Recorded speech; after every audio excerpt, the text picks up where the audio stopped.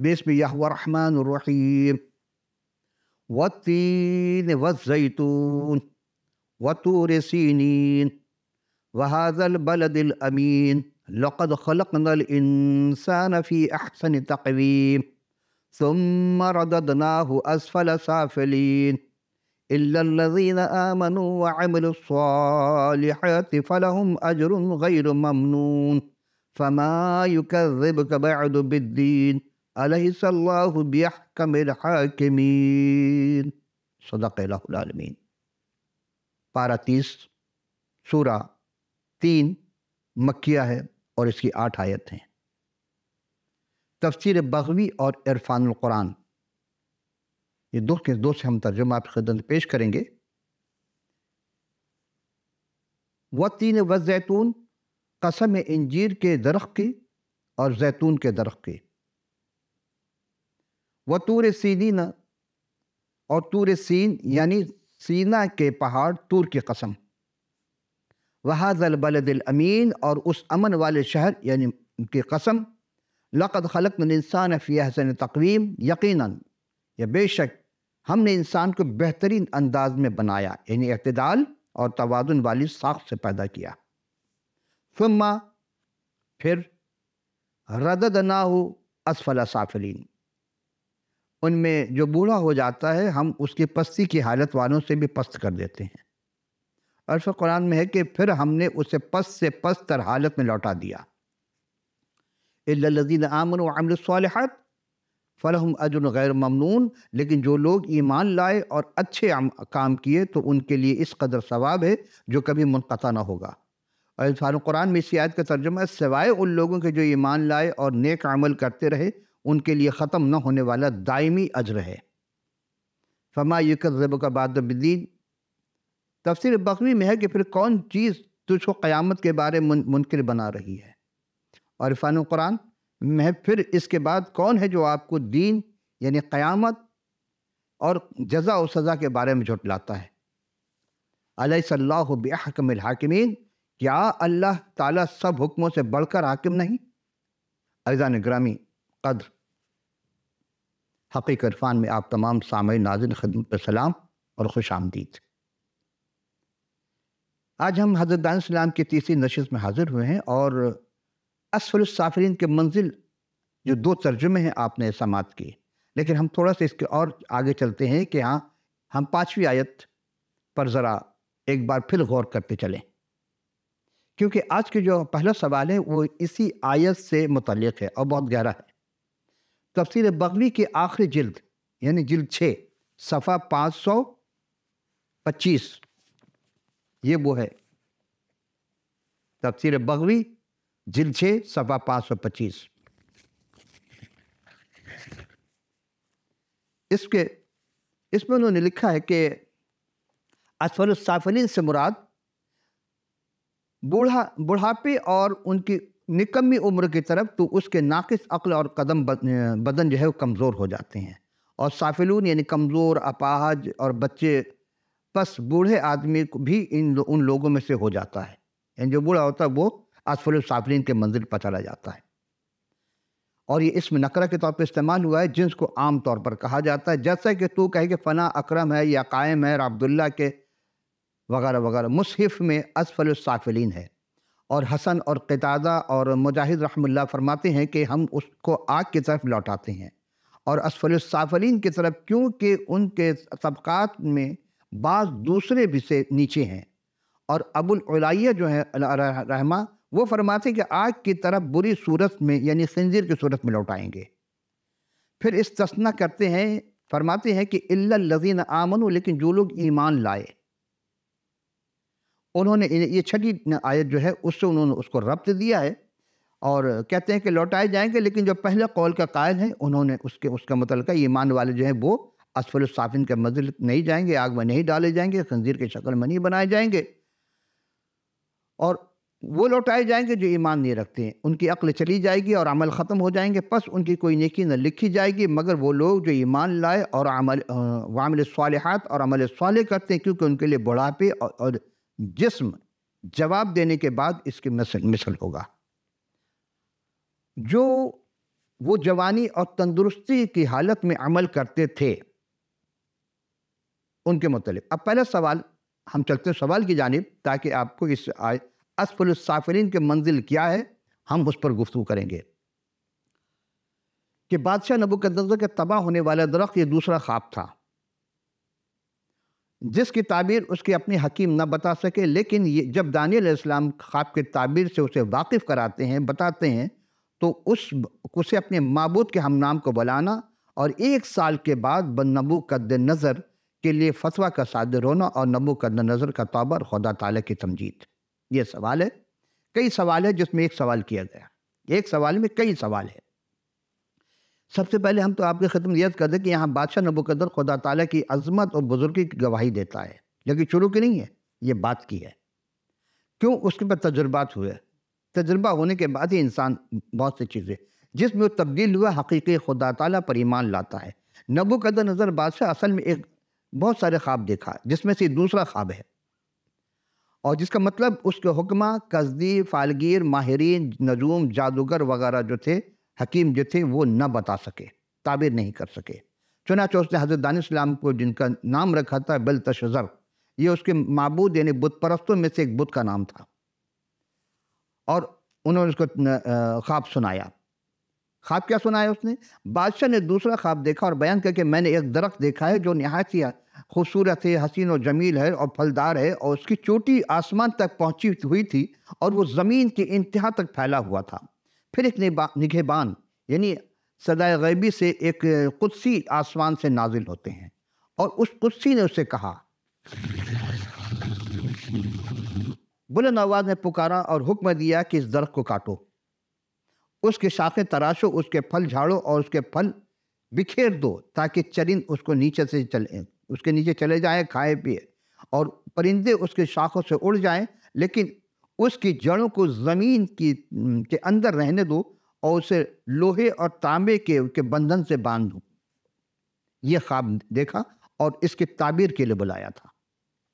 लेकिन इसके साथ साथ देखते एक और ख्वाब उसमें देखा है। एक ख्वाब के अंदर ख्वाब है कि मैदान सरसब शादाब, यानी हरी हरी घास में रहने दो, वो आसमान के शबनम से तर हो और उसका हिस्सा ज़मीन की घास में, हैवान के साथ हो उसका दिल इंसान का दिल न रहे, बल्कि उसका हैवान का दिल दिया जाए और उस पर सात दौर गुजर जाए। ये हुक्म निगहबानों के फैसले से है और ये अमर कुदसियों के कहने के मुताबिक है। ताकि जी, सब जी हयात इन पहचान लें कि हक ताला आदमी की ममलिकत में हुक्मरानी करता है और जिसको चाहता है उसे देता है, बल्कि आदमियों में से अदना आदमी को उस पर कायम करता है। अजान नजी वकार बादशाह अपना ख्वाब सुना चुका और हज़रत दान इस्लाम से इस ख्वाब की ताबीर पूछता है। दान इस्लाम चूँकि उनको बाबरी ज़बान में सारी गुफ्तु हो रही थी और बाबरी सी ज़बान में बलतशर यानी हज़रत दान इस्लाम को जो लकब था, बादशाह ने ख्वाब का सुन करके एक साथ अपने ख्याल में परेशान हो गए थे। कौन? हज़रत दान इस्लाम तब बादशाह ने कहा, इस ख्वाब के ताबीर से परेशान न हो, क्योंकि तेरे अंदर मुक़दस इलाहों की रूह तुझ में मौजूद है। फिर बलतशर ने कहा अः बादशाह, ये ख्वाब मुझसे कीना रखने वाले और इसकी ताबीर आपके दुश्मनों के लिए है। वो दरख्त जो आपने देखा बढ़ा और मज़बूत हुआ, जिसकी चोटी आसमान तक पहुँची और ज़मीन तक फैले, ज़मीन तक, इंतहा तक दिखाई दी, जिसके नीचे खुशनुमा थे और पत्ते और मेवे और फरावा थे, ये सब की खुराक थी, जिसके लिए साया में मैदान के चरिंदे और शाखों पर हवा में उड़ने वाले परिंदे बसेरा करते थे। अः बादशाह, दरअसल वो दरख्त से मुराद आपकी ज़ात है। जो बड़ा परवान चढ़ा, मज़बूत हुआ। बादशाह मज़बूत होते हैं, क्योंकि आपकी बुजुर्गी बढ़ी और आसमान से तक जा पहुँची और आपकी आलगी आलमगीर सल्तनत ज़मीन के इंतहा तक। अः बादशाह, ज़रा तवज्जो फरमाइएगा। जो आपने देखा एक निगेबान हाँ वो कुत्सी आसमान से उतर कहने लगा कि दरख्त को काट डालो, इसे बर्बाद कर डालो, लेकिन उसकी जड़ों को, कंधा को ज़मीन के अंदर रहने देना। आपने देखा बाद दफ़ा दरख्त का काट दिया जाता है, थोड़ा सा हिस्सा ज़मीन के अंदर जड़ के साथ छोड़ दिया जाता है और ज़मीन से कुछ फासले पर वो तना रहता नज़र आता है। उस पर अक्सर लोग बैठते हैं, परिंदे भी कभी कभी आके बैठ जाते हैं, सुस्ताने के लोग बैठ जाते हैं। इसी तरह यहाँ भी देखा, बताया गया है कि वो और उसे लोहे और तांबे के बंधन से उसके चारों तरफ़ से बाँध देना। और मैदान जो हरी घास है, उसमें रहने दो और वो आसमान के शबनम से तर हो और सात बरस के दौर गुजरेंगे। इसका बकरा ज़मीन के हैवानों के साथ। ए बादशाह, इसकी ताबीर में हक ताला का वो हुक्म जो बादशाह मेरे खुदावन के हक में हुआ है। यही है। आप, अब आप दिलजमई से हम तंगोश होकर समाज फरमा लीजिए। दानिशराम ने बादशाह से कहा कि आपको आदमियों में से हाँक कर निकाल दिया जाएगा। सवाल पे है ना आपके जहन में? असफलसाफरीन की मंजिल क्या होती है? उस उस पर गुफ्तु हो रही है, लेकिन बादशाह के ख्वाब से बहुत गहरा ताल्लुक है। और आप मैदान के हैवानों के साथ रहेंगे और बैल की तरह घास खाएँगे और आसमान के शबनम से तर होंगे और इस तरह आप के पर से सात बरस गुजर जाएँगे, सात दौर गुजर जाएँगे, तब आप बखूबी वाकिफ़ हो जाएँगे। हक ताला इंसान की ममलिकत में हुक्मरानी करता है, जिसे चाहता है वह तज़ तशाओ व तजिल तशा। वही है इज़्ज़त ज़िल्लत का मालिक। अब मज़ीद जानिए, बादशाह को मुखातिब किया, जो उन्होंने हुक्म दिया कि दरख्त कटने का कंदा जो बाकी है रहने दो, उसका मतलब ये कि जब आप मालूम कर चुकेंगे कि असल बादशाह वही इकतदार आला आसमान, यानी खुदाए बुज़ुर्ग बरतर है, जो वह दहू ला शरीक उसकी तरफ़ से है। और वो जिसको चाहता ज़मीन पर बादशाह महाल बना देता है। आपको दोबारा वही बहाल करे, किए जाएँगे, यानी वही खुदाए वहदुल्श आपको बहाल करेंगे। सात साल के बाद। इसलिए, ए बादशाह, आपके हजूर मेरी सलाह है कि आप गरीबों पर, मिसकीनों पर मजलूम, जुल्म न करें। और रहम कीजिए उन पर। तोबा कीजिए। मुमकिन है कि आपको कल्बी इतमान हासिल हो जाए। और आखिरी जुज में ये कहा था, क्योंकि एक साल बाद नबो का नज़र पर एक फतवा सादिर होता है। सवाल ये था कि उस पर फतवा सादिर हुआ एक साल के बाद। अजीज़म दरअसल जब इंसान इब्लिस का पैरोकार हो जाता है असफल साफरीन के मंजिल क्या है? यानी पस्ती में चले जाना। आपने सुना है ना कि फला शख्स सिफली अमल करता है? सिफली जादू टोना करता है और जादू टोना करने वाले खुदा की निगाह में आग में झोंक दिए जाएँगे। करने और करवाने दोनों। वही असफल सफल से असफल बना और सिफली अमल उसी से निकला है। यानी पस्तरीन चीज़। यहाँ भी इंसान जब इब्लिस के पैरोकार हो जाता है तो उससे वो अमल सरजद होते हैं जो खुदा को पसंद नहीं है। बल्कि आम इंसान को ही पसंद नहीं होता है। दरअसल जब बादशाह के इस ख्वाब के ताबीर के एक अरसा गुजर, एक साल गुजर गया, मगर बादशाह ने न तौबा की और ना ही अपने जुल्म ज़ोर से बाज आया क्योंकि तकबर है। और किब्र सिवाय उस रबालमीन की किसी को सजावार नहीं। किब्र से ही अकबर बना, इसलिए आपने अल्लाह अकबर कहते हैं। खुदा अकबर है। एक साल के बाद बाबुल के शाही महल में जब वो चहलकदमी कर रहा था बादशाह और अपने जोम में इस्तेफानिया सवाल या अंदाज में कहने लगा कि क्या ये बाबुल आज़म नहीं, जिसको मैंने अपने तोानाई के कुदरत से तामीर किया? ये दारसल्तनत मेरे जाहो जलाल का नमूना है। देखिए कभी कभी बहुत बड़ी गुफ्तगु जो खुदा को बुरी लगती है। इंसान जोम में आकर बहुत कुछ कह जाता है।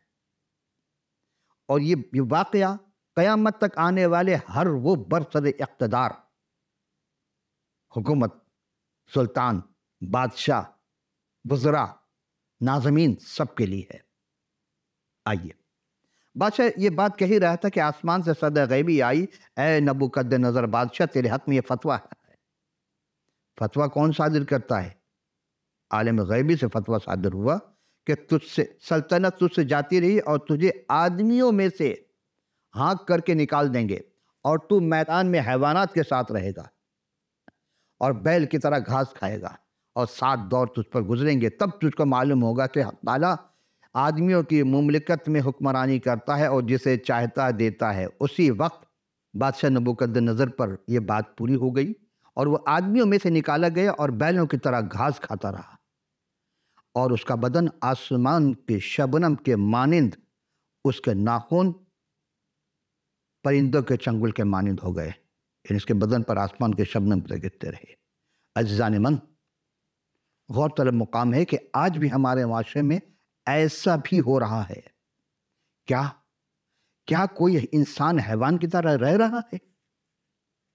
आप ये कहेंगे ना, नहीं नहीं, ऐसे कैसे हो सकता है? बिल्कुल। आपने सही सोचा हो। मुमकिन है आपका तजुर्बा ना हुआ हो। सूर्य अराफ कुरान शरीफ का सातवां सूरा है सूर्य अराफ। और आयत नंबर एक सौ उनासी में है कि, और हमने दोजक के लिए बहुत से जिन और आदमियों पैदा किए हैं, उनके दिल हैं, उनमें से, लेकिन उनको वो समझते नहीं। उनकी आँखें हैं, मगर वो देखते नहीं। और कान हैं, उनसे सुनते नहीं। वो ऐसे हैं जैसे चौपाए। सोचने का मुकाम है, अगर दिल है तो समझते कि नहीं, इंसान दिल से समझता है कि अकल से समझता है। इरफानियात की निगाह में इसीलिए कहा कि ज़िक्र कलबी करो, दिल से ज़िक्र करो, दिल से खुदा को याद करो। यहाँ वही मफहूम है। आँखें हैं और लेकिन वो देखते नहीं। क्या नाबीना है? नहीं, बीनाई तो है। लेकिन देखने का मतलब भी जो खुदा दिखाना चाहता वो नहीं देख रहे हैं। जो इब्लिस दिखाता वो हम देखते हैं। यहाँ वही मफहूम है। और कान है, सुनते नहीं, बहरे नहीं है, कान तो नज़र आ रहे हैं। बहरे नहीं है। यानी अंदर जो जो चीज़ समाज के लिए है, जो स्पीकर लगे, जो वो लगे हुए हैं, पर्दे हैं, उसमें से आवाज़ सुनाई देती है, सुनते हैं। अगर ना सुनते तो फिर खाते कैसे हैं? खाना मांगते कैसे, सुनते कैसे बोलने की चीज़ों को?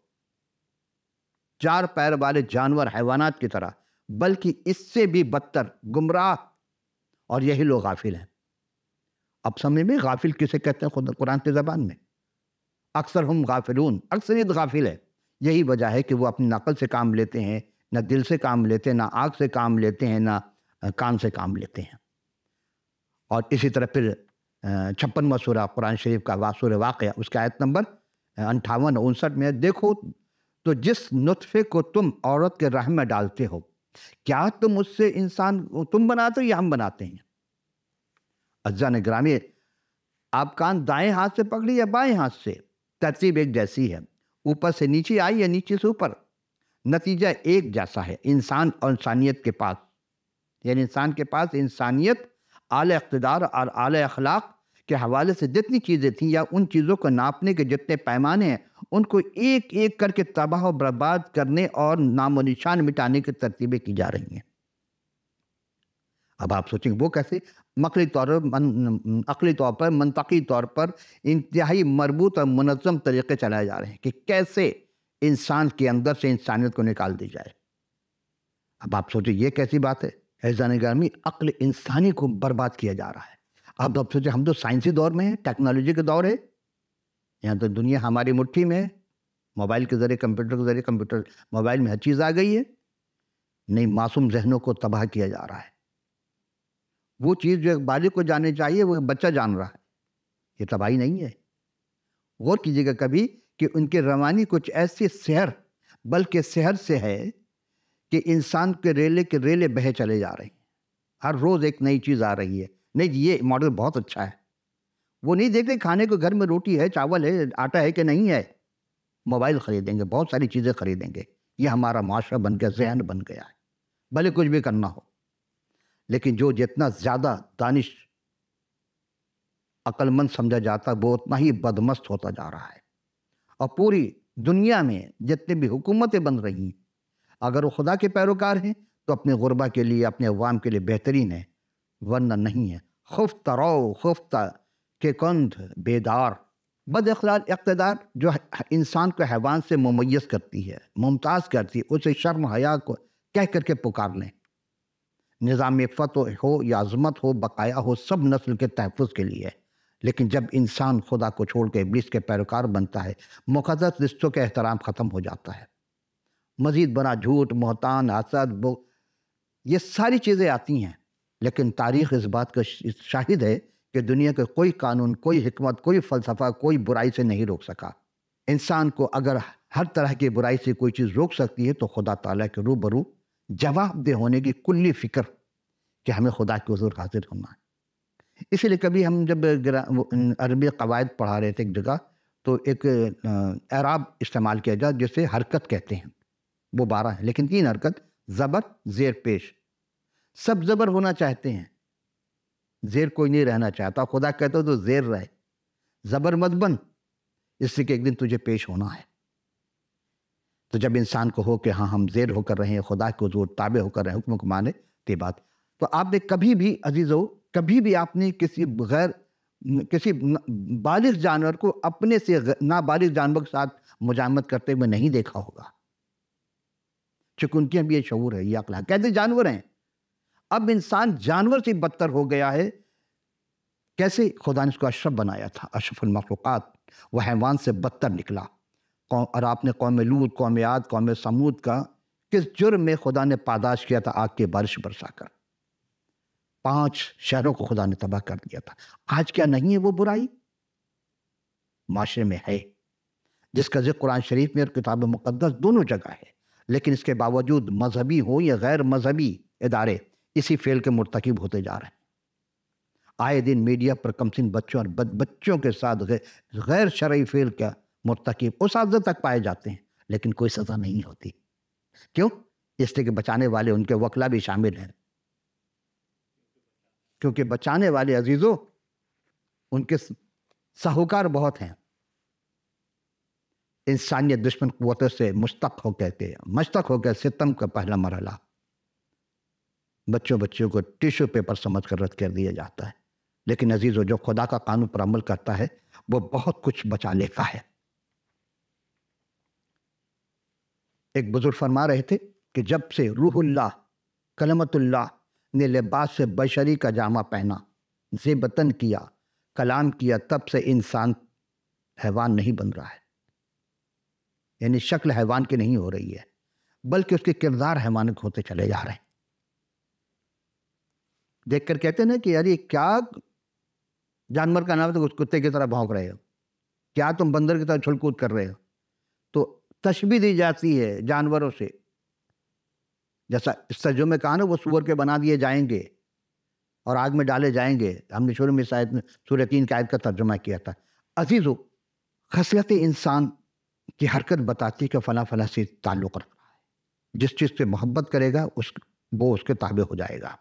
जब सात साल का अजीज़ान मोहतरम, जब सात साल के वो अयाम जिसकी पेशन गोई, हज़रत दानिल इस्लाम ने की थी, गुजर जाने के बाद नबू कदर नज़र बादशाह कहता है कि मैंने आसमान की तरफ़ निगाह उठाई और मेरी अक्ल मुझे फिर आई। और मैंने हक ताले के हजूर अपने तमाम गुनाहों की तौबा की और उसका शुक्र बजा लाया। खुदा हर किसी को मौका देता है। ये जो वाक़ है कलाम मुक़दस का, कि उसने शुक्र तौबा किया अपने गुनाहों से कि हाँ मुझसे जुल्म हुआ सरजत हुआ, मैंने बहुत गुनाह किया और फिर वो शुक्र किया कि खुदा ने की अकल वापस करती उसे। अगर उसको हैवान के, हैवानी की हालत में मौत ले लेता तो क्या होता उसका? आज गौर कीजिएगा, कितने हैं ऐसे जो हम हैवान की ज़िंदगी गुजार रहे हैं। शक्ल तो इंसान की है। उसने बनाई थी इंसान की सूरत को अपनी सूरत शबी के माने उस हयम की हमदसना की, जिसकी सल्तनत अबदी है, जिसकी ममलिकत पुश्त दर पुश्त और ज़मीन के बाशिंदे, तमाम बाशिंदे नाचीज़ गिने जाते हैं और वह आसमानी लश्कर और अहल ज़मीन के साथ जो कुछ कर, चाहता है, करता है। और कोई नहीं जो उसका हाथ पकड़ सके, उसको रोक सके। है कोई खुदा के कानून? खुदा का हाथ रोक सकेगा तो उसको क्यों गरीब किया, किसको अमीर किया, किसको उसको बादशाह से फ़कीर कर दिया? आप देखें, झूठ इंसान को ले डूबती है, सबसे पहला। उसी वक्त उसने कहा कि मेरी अक्ल मुझमें फिर समाई और मेरी सल्तनत की शौकत के लिए मेरा रोब और दबदबा फिर मुझमें बहाल किया। और उसी वक्त मेरे मुशीरों और अमीरों ने फिर मुझे ढूंढ करते हुए आए और मैं अपनी सल्तनत में कायम हुआ, यानी मेरी अजमत व अफसोई हुई। हज़रत दान इस्लाम नबुकदन बादशाह के हकीकी जो आसमानी बादशाह, उसके सताइश और तकरीम करते, करता है। देखिए, क्योंकि वो अपने कामों में रास्तबाज और सब राहों में आदिल है। जो मगरूरी से, में चलते हैं, उनको जलील रसवा कर देता है। खुदा को आजिज़ी बहुत पसंद है। तो जब उस आजिज़ हुआ तो उसने तौबा की। रब्बुल आलमीन से यही दुआ है कि हम सब ख़ताओं को, ख़ताकारों को, हम हम सब के गुनाहों को या हमारे गुनाहगारों को लफ्ज़ को अपने फजल करम से माफ़ फरमाए। और हम सबको तोबत नसूह, ऐसी तोबा करने की तोफीक देखे सिर्फ़ कान पकड़ लेना, कल्ले पे मारना, चेहरे पे हाथ मारना तोबा नहीं होता है। ये तोबा नहीं, तोबा का मज़ाक हो जाता है। बल्कि वही काम हम फिर कर जाते हैं। तो अजीज़ो, हम हमेशा आप खुदा के हुजूर, उसको अहकम हकीम जान करके कि वो कोई देखे ना देखे, लेकिन वो देख रहा है। और वो कहता है कि जो आखिर तक वफादार रहेगा, हम उसे ताज देंगे। क्या हम वफादार हैं अपने खुदा के? जैसा आप चाहते हैं, आप ज़िंदगी गुजारते हैं, लेकिन जैसा हमें वो चाहता है क्या हम ऐसी ज़िंदगी गुजार रहे हैं, वरना फिर हम सब बस साफरीन के मंजिल पर हैं। अजान वतन गौर करने का मुकाम है। कि क्या हम सिर्फ़ गुफ्तार के गाजी बन गए? किरदार के गाजी नहीं बन सके। कब बनेंगे? देखिए, हर रोज़ हमारे ज़िंदगी का सफ़ा पलट रहा है और एक वक्त आएगा पूरी किताब बंद कर दी जाएगी। तो क्या हमारा नाम उस किताब में में है जिसका नाम है किताब हयात है? ज़िंदगी यही नहीं है, ये तो आरजी है। हमें अबदुल्लाबाद ज़िंदगी की तैयारी करनी क्योंकि एक है जिसको दोबारा भेजेगा और वो आएगा। और वो आ गए फिर वो रहम रहम नहीं करेगा, वो अदल करेगा। तो इससे पहले कि वो अदल करे, हमें अपने आप को तैयार करना है, उस आने वाले का इस्तकबाल करना है। वो कौन आने वाला है? जो आसमान से आएगा। आसमान का था, आसमान से आएगा। आया, गया, फिर आएगा। और फिर उसकी हुकूमत कैसी होगी? अज़ीज़ आइंदा नशिस्त में हम आपको नविश्ता के बारे में बताएँगे। लेकिन आज का ये प्रोग्राम आपको कैसा लगा? आप अपना फीडबैक ज़रूर दीजिएगा। जो भी सवाल जहन में आए, वो आप ज़रूर कीजिएगा। और इल्म इरफान के लिए आप अगर के पास अगर किताब मुक़दस नहीं है, जो तकरीबन साढ़े तीन हज़ार साल पुरानी है, इस वक्त तकरीबन दो हज़ार और छः सौ से ज़्यादा ज़बान इसके मुतरजम हो चुके हैं। तर्जुमे हो चुके हैं। आपको जब भी, जहाँ भी किताब चाहिए। आप हम आप आप अपना पूरा पता लिख भेजिएगा।